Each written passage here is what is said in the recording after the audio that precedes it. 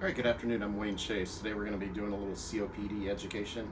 We're going to be discussing prevention of COPD readmissions and providing quality hospital care. Now, as you guys all know, admissions for exasperations account for the majority of costs associated with COPD. And after discharge, 10 to 20% of COPD patients are readmitted within the first 30 days. Those aren't necessarily Baycare numbers because I don't have access to those. Those are general numbers. Now, patients who are readmitted following a COPD hospitalization are at a greater risk of mortality and have worse outcomes relative to patients who are not readmitted. So today we're going to be talking about a new plan that's rolling out on the 21st, and we have COPD folders. All patients who have COPD or a history of COPD as a primary diagnosis will have a blue folder with their patient chart. They'll be placed with the patient chart at the time of admission. Now here on this floor we've got them right above the patient charts and I'm sure the charge nurse or the nurse manager will find a good spot on your floor for them. They're working currently with uh, several different teams to find a way to pull up a uh, query of patients daily who have COPD. Now we're going to talk about the contents of the folder. Inside the folder we have a COPD checklist. That's for nursing and for case management.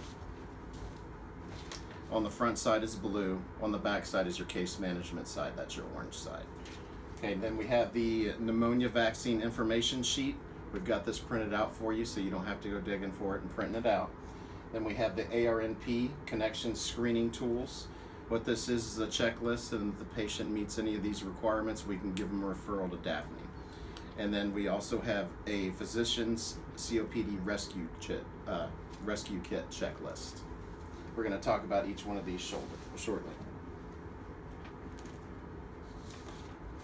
All right, so talking about the COPD checklist, you notice that it's going to have holes punched on each side of it.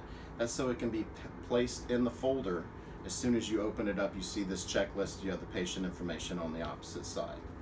Now we're going to discuss this checklist daily during the MDR rounds and initiate the zero one to items as soon as the patient's admitted. On here we have the COPD power plan utilized by the authorizing physician and the COPD, COPD education ordered upon admission. Then you have the COPD zone tool at the bedside.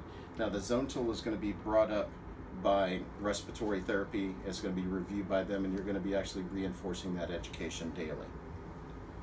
Okay, then we're going to, uh, the blue side is your nursing responsibility and you need to collaborate and delegate to appropriate parties. The orange side obviously is your clinic or your case management and your social worker, but this side also can't be overlooked because we've got items on here do they have the referral to the ARNP home connections? And do they have the necessary equipment at home that they need? Do they have the nebulizers? Do they have their oxygen? Do they have the tank by the bedside? And does everything work as advertised? Does the patient have the ability to pay for those medications? And obviously, if they don't have the ability to pay, that they can receive 30 days of medication. Also, the uh, it does discuss that they will reinforce the understanding of the zone tool. That's gone over several times in this because that's really important for the, the client. Now, we do need to collaborate with uh, case management during tabletop MDR to ensure that the, the case management portion of the checklist is completed on the back side of the form. Now we're going to discuss the day zero to day one admissions. Okay, so we need to uh, continue the current process for COPD education. That's really important. Once the order is placed, respiratory therapy will bring up the zone tool. Okay, now this needs to be placed above the patient's bedside or at the patient's bedside so it can be discussed by respiratory therapy and by the nurse and on rounds.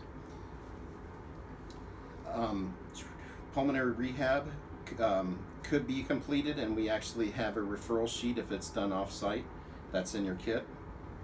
And if administering the uh, pneumonia vaccine or the influenza vaccine, it is flu season, we do, again, have the vaccine information sheet located in there, so you don't have to go digging for that.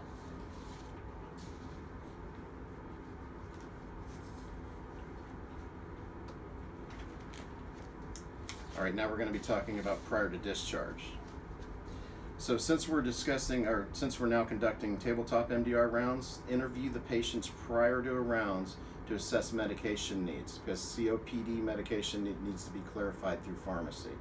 So when you're looking at this, you have prior to discharge. Review the zone tool daily and reinforce that education. Is the patient going home with home health care? You need to collaborate with the home health care coordinator, see if the patient meets the require, qualifications for the COPD rescue kit. The rescue kit might be phased out, but right now it's still active, and that form for the rescue kit is in here. Okay, we also need to consider the, the possibility for palliative care consult. And we need to consider a frailty assessment by physical therapy. We'll discuss that here in just a second. We also, again, need to discuss the need for home oxygen therapy and really take a look at the medication during rounds. Ask the patient if they need medication refills. Ask the patient if they'd like to use the Meds to Bed program. That's the program where Publix will actually come to your house and drop those off. And can the patient afford the medications? Um, we also have uh, collaborate with uh, collaborate with CM for referral to the Life Help Transitional Care Clinic, which is located outside, and that could be a one-stop shop for the the client to actually come in instead of actually going back to the emergency room if they do need to see their doctor. All right, now we're going to be discussing the frailty or assessing frailty.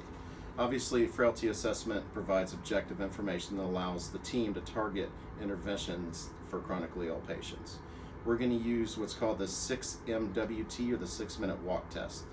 It's a practical measure of a patient's functionality and capacity and is a key tool in assessing frailty. This is a real easy thing to generate in Cerner. You're just going to go to select physician order, evaluate, and treat. Now in the special instructions box, you're going to change evaluate and treat to evaluate, treat, frailty, six minute WT. As you see right here, we just changed that to that. Okay, this is going to allow them to get that test done by physical therapy. And then we're going to take a look at the results, obviously, when it's done. I'm sure you guys know how to check your results. You're going to go into the physical therapy documentation and go bring the drop down to physical therapy assessment and go to the date that it was actually completed on. I have a couple examples here of poor results or high levels of frailty. You don't really need to pay attention to the numbers in here. The most key thing that you need to pay attention to is what's at the very bottom. Here's an example of somebody that had low frailty. Now that person was obviously discharged home.